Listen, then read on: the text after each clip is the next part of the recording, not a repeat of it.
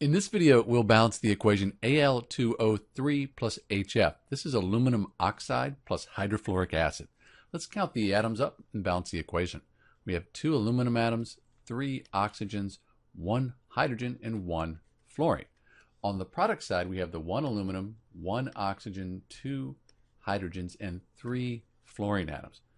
Let's leave the oxygen till last and start with the aluminum. We could put a 2 in front of the AlF3. So 1 times 2, that would give us 2, balance the aluminum. 3 times 2, that would give us 6. Let's just balance the fluorine next. We could put a 6 in front of the HF. That means we would have 1 times 6. That would give us 6 hydrogens, but we have the 1 times the 6 here. That balances the fluorines. Let's do the hydrogens. That might even fix the oxygens.